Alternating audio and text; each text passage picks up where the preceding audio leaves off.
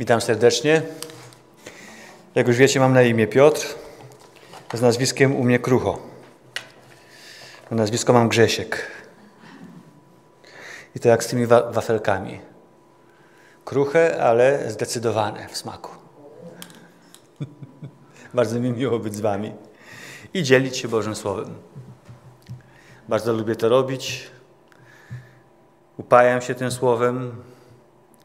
Z radością obserwuję, że mimo upływu lat, od momentu, kiedy zacząłem czytać je tak systematycznie, zbliżam się do 35 lat i bardzo mnie to cieszy, że nic, że upływ lat nie zmienił tego, że nie podchodzę do tej księgi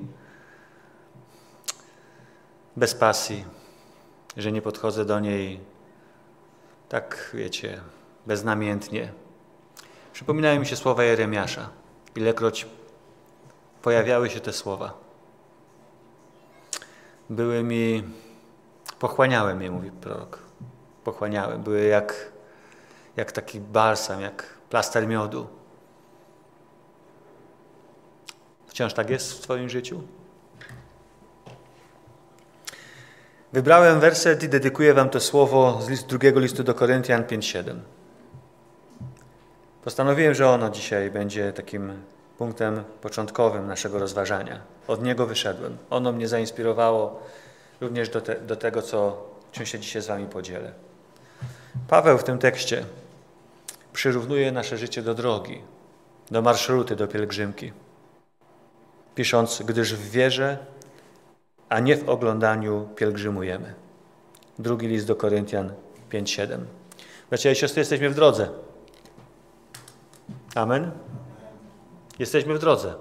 Sytuacja jest rozwojowa. Polacy chętnie by powiedzieli, piłka jest ciągle w grze. Jeżeli Bóg jest między nami, to wszystko się może wydarzyć. W domyśle co, to, co najlepsze.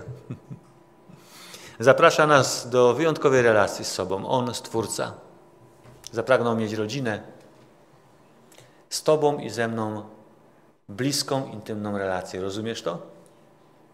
Samowystarczalny Bóg jednak chce mieć z Tobą i ze mną relację. Naprawdę to rozumiesz? Ja jestem w gronie tych, którzy nie do końca. Nawet tak żartując sobie powiedziałbym, gdybym był Bogiem, nie zdecydowałbym się na taki wariant. Ale na szczęście nie jestem. Nasz Bóg jest dobry. Chce mieć ze mną relację. Chce mnie poznawać i chce, żebym ja Go coraz bardziej poznawał. Odkrywa się przede mną. Poznawaj Go. Dowiaduj się o Nim jak najwięcej. Wzrośnie Twój stopień zaufania, Twoja z Nim zażyłość. Będziesz ufał Mu coraz bardziej. Nie martw się. Nie odkryjesz wszystkiego do końca swoich dni. Nie znudzisz się Bogiem. On nie wyłoży wszystkich kart przed Tobą, a Ty nie będziesz mógł powiedzieć, no to już właściwie koniec, wszystko o Bogu wiem. Każdego poranku, każdego dnia na nowo chce Ci się odkrywać. Kiedy ostatnio znowu coś na nowo z poznania Boga przeżyłeś? Ze zrozumienia, kim On jest, jak bardzo Ciebie kocha. Myślmy o tym. Chodzenie z Bogiem jest wyprawą. Długą, trwającą całe życie Zmierzamy do konkretnego punktu, do konkretnego miejsca. Jak je nazywamy? Niebo. Niektórzy mówią o raju. Biblia mówi o wieczności z Bogiem i tak już na zawsze będziemy. Podoba mi się to z Panem. A Bóg zwracając się do nas mówi o nas jako nie o tych, którzy umarli, ale którzy zasnęli. Lubię to. Zasypiamy na chwilę by obudzić się w innej rzeczywistości z, Bo z Bogiem. Wspólne wędrowanie przez życie, myślę o swojej żonie, myślę o takich bliskich relacjach, nie jest odkrywcze bez zadawania pytań. Zauważyłeś? Każda relacja, każdą relację odkrywamy, kiedy jesteśmy w dialogu, kiedy zadajemy sobie pytania, wsłuchujemy się w odpowiedzi, zaczynamy się je poznawać. Z nami z naszą relacją z Bogiem jest dokładnie tak samo. Więc dla mnie to jest bardzo fascynujący moment, kiedy możemy zadawać sobie pytania. On zadaje mi, ja zadaję jemu. Zadałeś już Bogu w swoim życiu jakieś pytanie? Czy nigdy nie miałeś do Boga żadnych pytań? Było ich wiele, prawda? I myślę, że będzie ich jeszcze wiele. Takim jednym z najbardziej nieznośnych pytań w naszym życiu jest dlaczego, Panie? Myślę, że przynajmniej raz w życiu zadałeś, a jestem pewien, że wiele razy. W sytuacjach niezrozumiałych, w sytuacjach trudnych, które nas spotykają, szczególnie tych, których w ogóle nie rozumiemy. On odpowiada nam.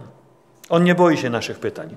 To, czego się boi, jeśli Bóg w ogóle się boi, to naszej hipokryzji, bracia i siostry. Tego, że będziemy robili dobrą minę do złej gry. A my, chrześcijanie, opanowaliśmy to, wydaje się mi, do perfekcji. Lubimy, jak ludzie nas widzą w dobrym stanie. Jak się uśmiechamy, dźwigamy ręce do góry, jak mówimy tą słynną modlitwę, trochę jak mantrę. I za wszystko Ci, Panie Bogu, dziękuję. I za wszystko też, Panie Boże, Cię przepraszam. Ale to nie jest głębokie chrześcijaństwo. Mam nadzieję, że nie zależy Ci na powierzchownym przejściu przez życie. Nie, mnie w chrześcijaństwie, w mojej relacji z Bogiem ujmuje głębia, bracia i siostry. Głębia. I trochę tak jak Augustyn powiedział o tych, którzy studiują Słowo. Powiedział, wy teolodzy nie musicie się bać. Możecie nurkować w nim do końca swoich dni, nie martwiąc się, że kiedykolwiek dotkniecie dna. A dzieci mogą się bezpiecznie bawić, pluskać w jego falach, w jego toni, nie martwiąc się o to, że kiedykolwiek utoną. On nas zaprasza do tej głębi. Zachęca nas, żebyśmy weszli głębiej i poznali Go bardziej, zadając nam pytania. Bóg też chce Ci zadać pytanie. Jesteś na to gotowy? Ja ten rok przeżywam w taki sposób, że wertuję Biblię i staram się znaleźć wszystkie możliwe pytania, jakie w tej świętej księdze Bóg zadał człowiekowi.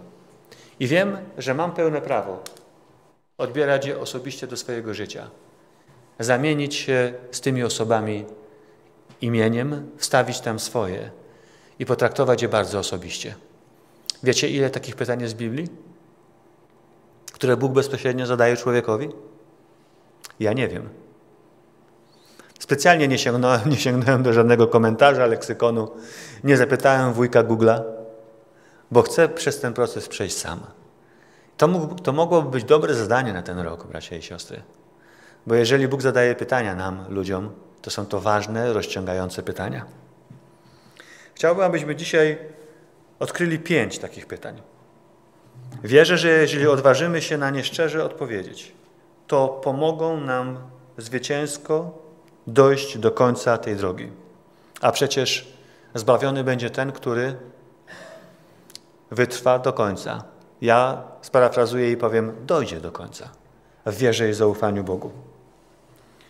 Pomogą nam odnieść zwycięstwa albo wyprostują naszą drogę z Bogiem, a może zawrócą nas z błędnej drogi, z błędnego, niewłaściwego toru, jeśli zboczyliśmy ze szlaku, a może utknęliśmy w ślepej uliczce, a może para z nas uszła, może zauważyłeś, tracisz tą drogą zainteresowanie.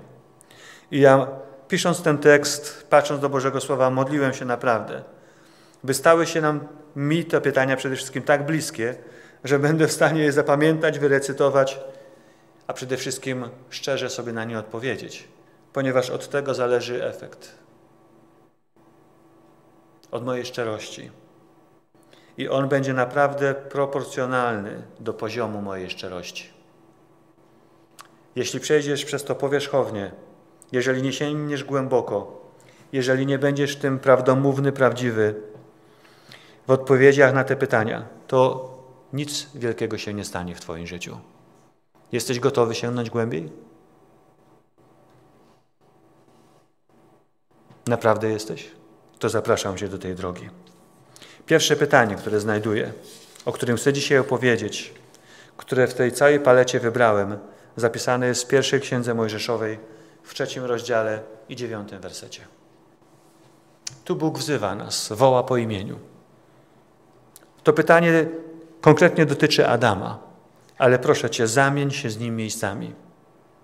Bóg w tym tekście pyta: Adamie, gdzie jesteś? Woła na niego: Adamie, gdzie jesteś? Więc jak masz na imię? Piotrze?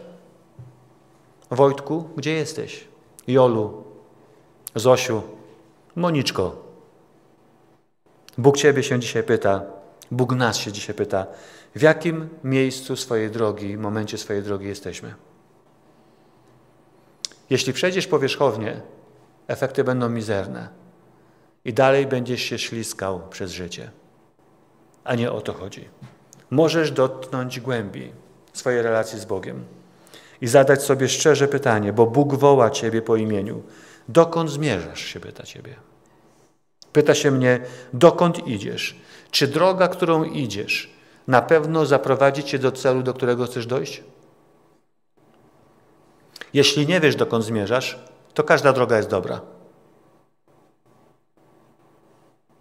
Ale jeżeli wiesz, gdzie chcesz dojść, to musisz wybrać właściwą. Doprowadzi Cię? Jak się czujesz? Jak się na tej drodze masz? Czy miejsce, w którym jesteś dzisiaj, to jest na pewno to miejsce, do którego Bóg chciał Cię zaprowadzić? Jesteś zachęcony, podekscytowany, żeby nie powiedzieć podniecony drogą i miejscem, do którego doszłeś, doszedłeś? Czy sfrustrowany? A jeśli sfrustrowany, to dlaczego? Chciałbym coś zaproponować, bo nie mamy czasu na to. Zapisz to pytanie, wpisz tam swoje imię, Jolu, gdzie jesteś i potraktuj to bardzo osobiście. Napisz dzisiaj list do Pana Boga. Któregoś dnia tak zrobiłem. Pamiętam, będąc na odbeku, pisałem list do swoich rodziców. Chciałem, żeby to był list szczery, prawdziwy, rozliczający się, bo jeżeli Bóg sobie z czymś nie radzi,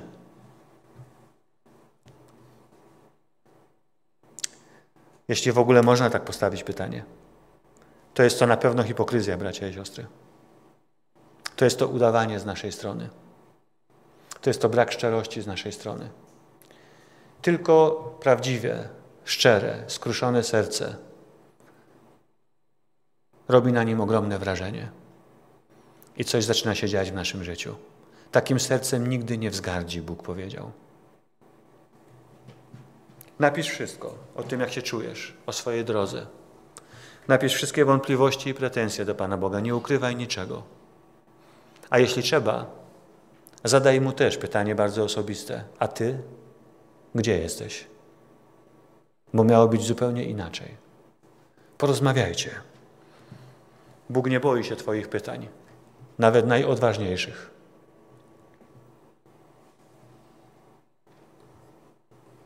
Nie ruszysz dalej, jeśli tego nie zrobisz. Rozlicz się sam ze sobą. Odpowiedz sobie na to pytanie, czy to na pewno jest miejsce, do którego chciałem dojść, a jeżeli nie, zastanów się, dlaczego nie doszedłeś. Bóg zrobi zawsze to, co do Niego należy. Zapytaj się siebie, czy Ty zrobiłeś wszystko. Bądź pilny, bądź uważny. To może być kluczowy moment na drodze dalej. To może być przełomowy moment w Twoim życiu z Bogiem. Zachęcam Cię do tego z całego serca. To może być praca na dzisiejsze popołudnie. Drugie pytanie, z którym się konfrontuję i z którym chcę się skonfrontować, to pytanie, które Bóg zadaje w pierwszej księdze Mojżeszowej w trzecim rozdziale, jedenastym wersecie. To jest właściwie pytanie o prawdę. Prawdę o sobie samym. Brzmi, kto ci to powiedział?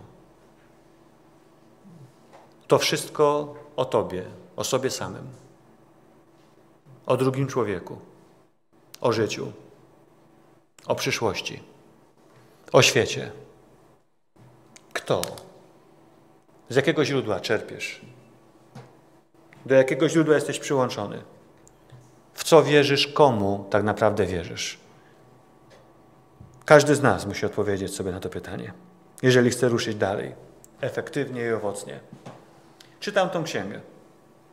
Pierwszą księgę Mojżeszową. Patrzę, jest tam wiele bojów, walk.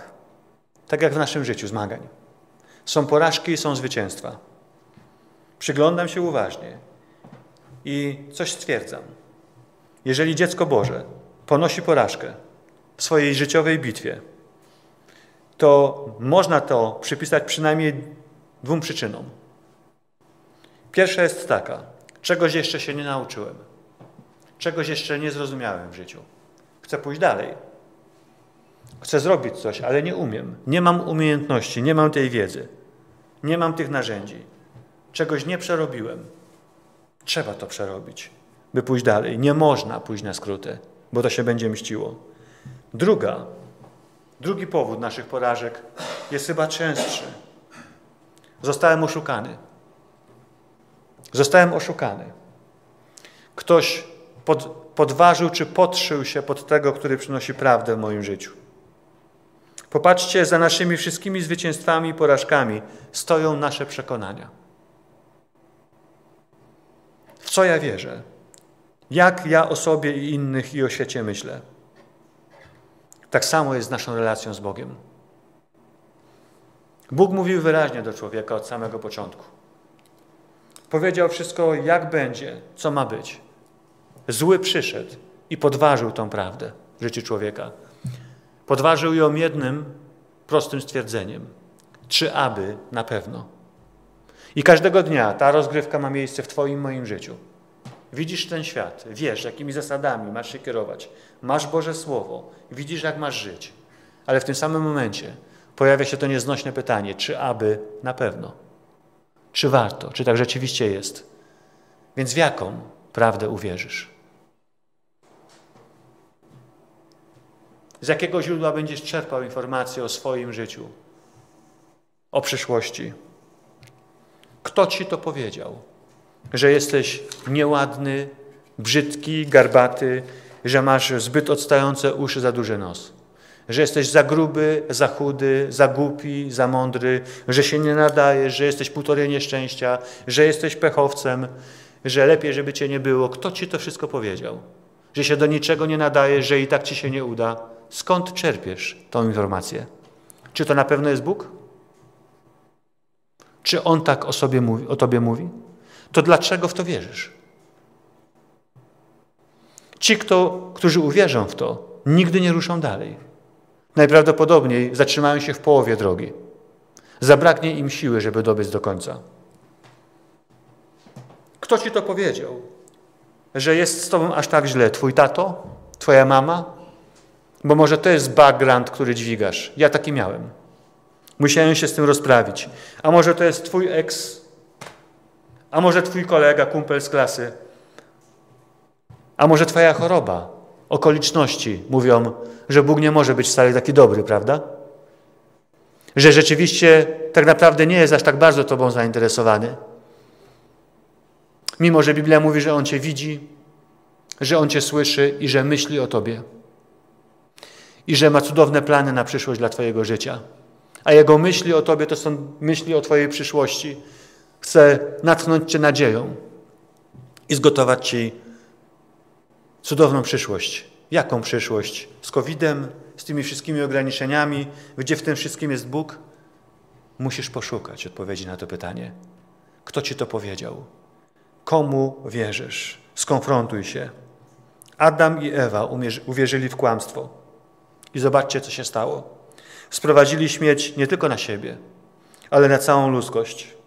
I myślę, że to czeka każdego z nas, jeśli zamiast w objawioną przez Boga prawdę w Jego Słowie wierzyć, uwierzymy w kłamstwo. Szczególnie w czasach, w których znaleźliśmy się. Jest tak wielkie bombardowanie nas. Uzurpowanie sobie, że po tamtej stronie jest prawda. Mówię Ci, będzie z Tobą źle, jeżeli podłączysz się do złego źródła. Błagam Cię, podłącz się do jedynej, prawdziwej, objawionej prawdy, którym jest Boże Słowo. Zacznij bardziej nasłuchiwać, być w tym źródle, pić, kąpać się i prze, przeżywać przemiany umysłu. Zobaczysz, co się stanie z Twoim życiem. Życzę tego sobie i każdemu z nas, szczególnie w tym trudnym czasie, w którym się znaleźliśmy. Trzecie pytanie bardzo mnie rozciąga. Muszę sobie odpowiedzieć na to, na czym naprawdę mi na tym, w tym życiu zależy. Jest wiele rzeczy, które mnie nęci. Jest wiele dróg, którymi chciałbym pójść. Rzeczy, które chciałbym zrobić, ale nie da się wszystkiego zrobić za życia i wszystkiego osiągnąć. Muszę skoncentrować swoją energię. Pytanie to znalazłem w Ewangelii Jana w pierwszym rozdziale, 38 wersecie i brzmi tak: Czego szukasz? Ja już odrobiłem tę lekcję, ale chcę zadać Tobie pytanie, czego Ty szukasz w życiu? Do czego tak naprawdę dążysz? Co chcesz osiągnąć? Co chcesz w tym życiu znaleźć? Czy to są kłopoty? Niektórzy się aż proszą o nie. Patrzysz na ich życie, rozmawiasz z nimi, to jest droga krótka i prosta do kłopotów, jeżeli dalej będą tak żyli. A na dodatek jeszcze zapraszają Boga i proszą Go o pomoc i o błogosławieństwo. Widziałem filmik na internecie, złodziej wsiadł do samochodu, otworzył go wytrychem, usiadł taki zadowolony, że udało mu się to auto otworzyć, przeżegnał się, zapalił. Nie wiedział, że tam jest policyjna kamera. Ale czasami tak robimy, bracia i siostry. Naginamy prawdę, naginamy Boga do swoich spraw, do swojego życia. Szukam. Ty wiesz, czego szukasz. Czasami są to rzeczy, które są absolutnie niezgodne z Biblią, z Bożą wolą dla Twojego życia. Ale tak pragniesz, żeby to się stało. Nie wszystkie Twoje pragnienia są dobre. Rozkoszuj się Bogiem. Da Ci to, czego pragnie Twoje serce. W relacji z Nim odkryjesz prawdziwe pragnienia. On będzie je wkładał do Twojego serca i umysłu podczas gdy Ty będziesz się nim rozkoszował. Będziesz mógł je zdefiniować, będziesz wiedział. Jeżeli będą dotyczyć żniwa, jeżeli będą dotyczyć oddawania Bogu chwały, będziesz wiedział, że to są pragnienia od Niego. Popatrzcie, Samarytanka przyszła do studni, bo szukała Jezusa? Bracia i siostry? Czwarty rozdział Ewangeliana. Pamiętacie? To jest znana historia. Dzieci uczą się bardzo często z tej historii na szkółce niedzielnej. Przychodzi Samarytanka do studni. Po co przyszła? Mhm. Naprawdę przyznaj się, powiedz Jezusowi, czego szukasz. Ta szczerość doprowadzi cię do Niego. Przyszła po wodę, a co znalazła? A kogo znalazła? Zbawiciela, bracia i siostry. I tego nam życzę. I zrozumiała, że jej pragnienia zostaną ugaszone tylko przez Niego. Jakie namiętności i pragnienia Tobą targają? Czego szukasz w życiu? One zostaną ugaszone, zaspokojone tylko przez Niego. Czy już to zrozumiałeś? Nie biegaj za wiatrem. Powiesz Panu swoją drogę. Spotkaj się z Nim, z żywym Bogiem. Zobaczysz, że On ugasi te pragnienia, zaspokoi te pragnienia. Powiedz dzisiaj Bogu, jakie namiętności Tobą targają, o czym myślisz, o czym marzysz. Przynieś Mu te wszystkie pragnienia. Zobaczysz, że On sobie z nimi poradzi. W relacji z Nim zaczniesz myśleć, analizować, zobaczysz, które są naprawdę nieistotne, a które są naprawdę ważne i pochodzą od Niego. I znajdziesz odpowiedź prawdziwą na pytanie, czego w tym życiu szukasz. Do tego Bóg Cię zachęca, byś tej odpowiedzi poszukał w swoim życiu. I czwarte pytanie. Czwarte, bez konfrontacji z Nim, choć mamy niezwykłe pragnienia, apetyty na życie, Choć niektórzy myślą o zdobyciu wielkich rzeczy, szczytów, to bez tego nie ruszymy dalej. Grozi nam to, że też w pewnym momencie okoliczności życiowe, proza życia przygniecie nas tak bardzo, że sparaliżowani zatrzymamy się i nie będziemy wiedzieli, jak ruszyć dalej. To jest pytanie, które znalazłem w Ewangelii Mateusza w ósmym rozdziale, 26 wersecie. Pytanie dotyczące każdego człowieka, mnie i Ciebie również. Czego się boisz? Strach zatrzyma cię na drodze do postępu. Strach zatrzyma cię przed postawieniem następnego kroku. Przed zdobyciem Twojej ziemi obiecanej. Wczoraj o tym rozmawialiśmy z braćmi. To jest Boża wola dla Twojego życia osiągnąć obiecaną ziemię. Ale ona jest poza strefą Twojego komfortu. Możesz pozostać po tej stronie Jordanu. Tutaj jest bezpieczniej, wiem. Bo po drugiej stronie, oprócz wszystkich innych niebezpieczeństw, wroga, który na ciebie czyha, są też olbrzymi. A olbrzym potrafi być bardzo olbrzymi. A twój strach potrafi naprawdę się wznieść na wyżyny. Tylko, że ziemia obiecana jest po drugiej stronie Jordanu i trzeba o nią zawalczyć. Bo Pan Bóg powiedział: Daję wam tą ziemię, ale wy musicie ją wziąć w posiadanie.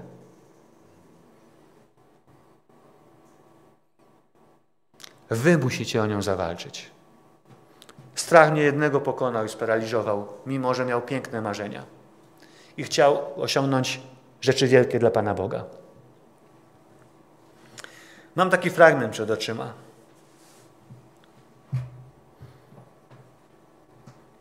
Taką myśl, którą wywodzę z tego, z tego fragmentu z Ewangelii Mateusza 8:26, gdzie pada to pytanie, czego się boisz? Ja zaraz, moja wyobraźnia, mówię wam, buzuje, dlatego że to jest bardzo marynistyczny fragment. Zaraz mam twarz mokrą, zaraz bryzgają mi te wszystkie fale, krople na twarz. Wyobrażam to sobie, nieraz byłem w takim położeniu. Trzymam się kurczowo, naprawdę wiem, co to znaczy być zmytym z pokładu. Jeżeli nie masz takich emocji, wróć do tego jeszcze raz. Wyobraź sobie tą sytuację. Gwałtowny sztorm. Nasze życie. Być może dzisiaj jesteś w takiej sytuacji. Sztorm to nie takie, taka sytuacja, gdzie wiatr trochę mocniej wieje, a żagle są troszeczkę bardziej napompowane wiatrem i staje się nieco bardziej niebezpiecznie. Sztorm to jest taka strefa, w której jeżeli nie będziesz wiedział, co zrobisz, zrobić, stracisz życie. Ponieważ to jest wejście w zupełnie nową przestrzeń, której nie znałeś. Przestrzeń żywiołu, który się z tobą w ogóle nie liczy. Oni są w sztormie, który mógł ich zabić. Wiem, że się znają na żegludze, bo są rybakami. Pływali po tym jeziorze, po tym galilejskim morzu. Tam wywracane są również łodzie, jak zabawki. Gwiat, wiatr to wszystko. Łódź przechyla się mocno na lewą stronę. Kolejna fala. Wiatr uderza w żagle, w burty, przewraca wszystko, zmiata może z pokładu, bo jest niezabezpieczone zmiata jak bierki, oni od burty do burty, trzymają się wszystkiego, żeby tylko uratować swoje życie, a Jezus? A gdzie jest Jezus w tym momencie? Chętnie zadałbyś mu też nieraz pytanie w sztormie swojego życia, prawda? A ty gdzie jesteś, Panie? A on spokojnie śpi. Nieraz nam się tak wydaje, prawda? że jeśli chodzi o nasze życie, On tak spokojnie śpi, podczas gdy w naszym życiu sztorm szaleje. Ale zwróć uwagę na kolejność wydarzeń. Nie było tak, że Jezus najpierw uciszył burzę, a potem zadał pytanie. On najpierw zadaje uczniom pytanie, a potem ucisza burzę. Być może najbardziej zaskakujące, jeżeli chodzi o postawę Jezusa i uczniów w tej sytuacji, jest to, że on nawet nie wstał ale sobie siedzi, zadaje im to pytanie, poskramia wiatr i dalej mogą płynąć. Opanowanie, profesjonalizm, zimna krew i to pytanie, dlaczego się boicie? Przecież jestem z wami. To samo pytanie zadaje nam dzisiaj. Sztormy były, są i będą, bracia i siostry. Nie ma niczego lepszego by na tym oceanie życia zaprosić do swojej łodzi, do swojego życia Pana Jezusa. Tego, który nie tylko ma pokój. To zmienia postać rzeczy, bracia i siostry. Tego, który jest pokojem. On jest księciem pokoju. Tego, który wie, co się dzieje, któremu nic się spod kontroli nie wyrywa. Który trzyma kurczowo nasze życie, który prowadzi tą łódź przez ocean życia. Zadaję nam to samo pytanie: dlaczego się boicie? Czego się boicie? Przyznasz się dzisiaj do swoich lęków Bogu? Przestaniesz udawać? Robić dobrą minę do złej gry, być superhero, ibermensch? Nie ma takiej potrzeby. Kościół nie jest miejscem na takie życie. Prawdziwość, szczerość. Przecież Bóg w tym słowie mówi tak często: nie bójcie się, jak o żadnej innej rzeczy. To słowo wciąż, to nawołanie prze, prze, przejawia się w Biblii. Zauważyłeś? Nie bój się. Nie bój się. Nie bój się. To dlatego, że ma na tym punkcie obsesję, czy dlatego, że wie, że my ludzie się boimy? Wszyscy się boimy, bracia i siostry. Wszyscy, którzy dzisiaj tutaj jesteśmy i każdy człowiek na tej ziemi się boi, ma obawy, z którymi się zmaga. Takie jest życie. Tak jesteśmy utkani. Wiecie, czego najbardziej się boimy? Ktoś to zbadał. Ja myślałem, że śmierci. Też się boimy. Ale człowiek, statystyki pokazują, ktoś to zmierzył, to jest zmierzalne, przepracował na wielkiej grupie ludzi, zadając to samo pytanie. I ta odpowiedź najczęściej się pojawiała, że mi się nie uda. Tego się boimy. I zostajemy po tej stronie Jordanu. Bo jak się nie uda, jak mi nie wyjdzie i ludzie się o tym dowiedzą, to co będzie? To będzie lipa, bo nikt nie chce mieć relacji z nieudacznikiem. Niechętnie się do tego przyznajemy. Zazwyczaj, kiedy mamy kumpla, koleżankę i kogoś przedstawiamy, to mówimy tak, to jest mój kolega. To mu się nie powiodło, nie zdał egzaminu, szkoły nie ukończył, nie umie tego, tamtego też nie umie, w tym też sobie nie radzi, ale to jest mój kolega, to jest mój przyjaciel. Generalnie tak o ludziach mówimy, prawda? Dobrze wiecie, że zupełnie inaczej. Podkreślamy ich mocne strony, ich osiągnięcia, szczycimy się tym, to jest mój przyjaciel. Zachęcam Cię do postawy, która jest opisana w Psalmie 34. Tam Dawid udaje obłąkanego.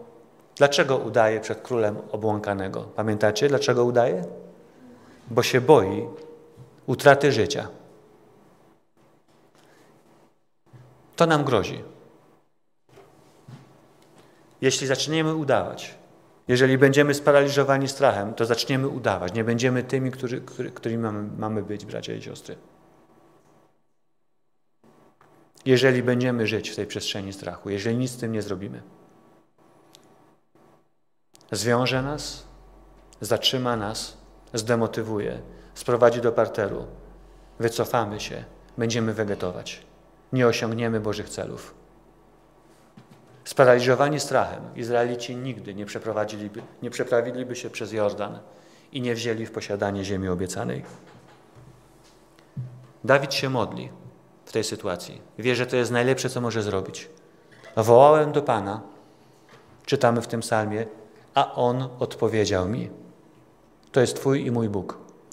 I uchronił mnie od wszystkich moich obaw od wszystkich moich lęków. Dzisiaj będziemy się modlić.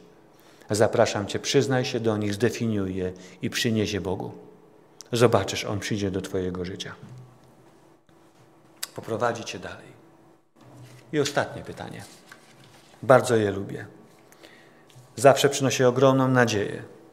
Zobaczcie, cztery pierwsze pytania. Bóg, tak jakby Bóg rozświetlał nam drogę.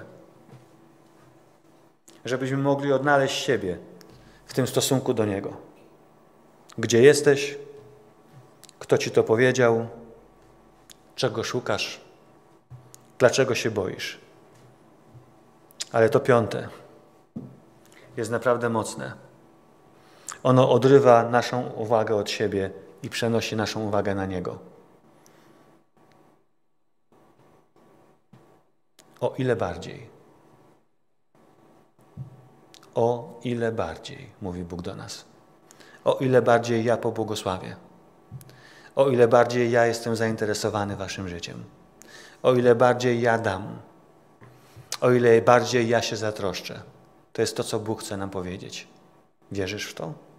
Popatrzcie, ono znajduje się w Ewangelii Łukasza 11-13 i pokazuje nas, ludzi, mówiąc, skoro więc wy, chociaż jesteście źli, umiecie dawać swoim dzieciom dobre dary, o ileż bardziej Ojciec z nieba da.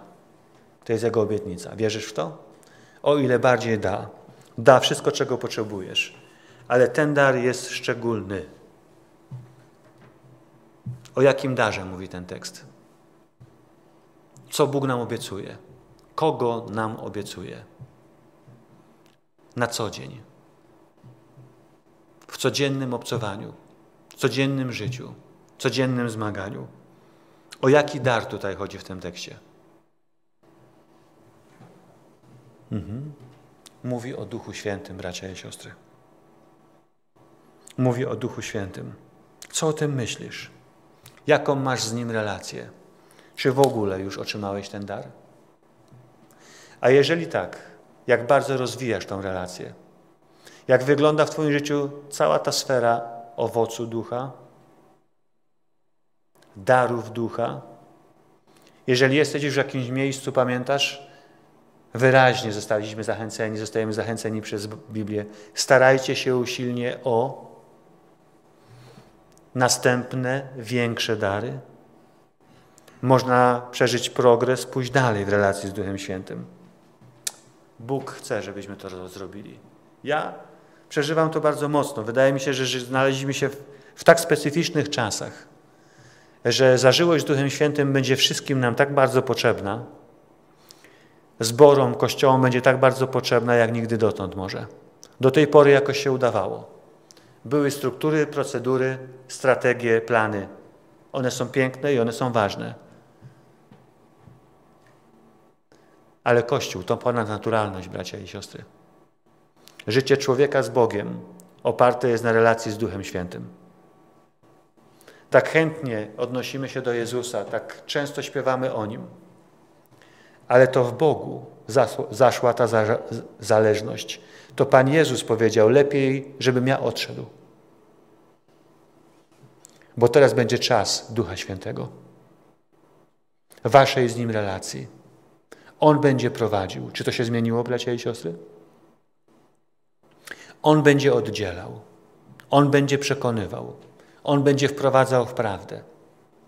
Duch Święty, bracia i siostry. Zachęcam się do tego. Wejdź w tą relację, bo może się okazać, że w tej relacji z Duchem Świętym dojdziesz do miejsca, do którego pragniesz dojść, a po drodze znajdziesz wszystko to, czego tak bardzo w życiu szukasz. Dlatego tak mocno Cię do tego zachęcam. Pięć prostych pytań mogą być powierzchowne, a mogą być bardzo głębokie, jeżeli się prawdziwie zaangażujemy w poszukanie w swoim sercu i umysłu odpowiedzi na te pytanie. Gdzie jesteś, moja kochana córko? Mój drogi synu, porozmawiajmy o miejscu, w którym się znalazłeś. Czy to jest na pewno miejsce, do którego chciałem Cię doprowadzić? Kto Ci to powiedział? Komu, czemu wierzysz w swoim życiu? Skąd czerpiesz swoje przekonania? O sobie samym, o drugim człowieku, o mnie jako o Bogu, o przyszłości. Czego w życiu szukasz? Co jest dla Ciebie najważniejsze, na czym skupisz całą swoją energię? Dlaczego się boisz? Już dawno powinieneś ruszyć dalej. Co Cię tak mocno trzyma? Co Ci przeszkadza w tym, żeby ruszyć w tej drodze wiary, w tej pielgrzymce życia dalej i osiągnąć cele, które Bóg dla Ciebie ma, zamierzył. Dotarcia do miejsc, których jeszcze nie byłeś, spotkania ludzi, których jeszcze nie spotkałeś i robienia z Bogiem rzeczy, których jeszcze nigdy nie robiłeś. Czego się boisz? I w końcu, o ileż bardziej ja Wam dam. Dam wszystko to, czego potrzebujecie. Dam swoje błogosławieństwo, swoją przychylność, swoją troskę, ale ponad to wszystko obiecanego Ducha Świętego, by był z Wami, by był Waszym parakletosem, by wprowadził Was w głębie, przeprowadził przez życie.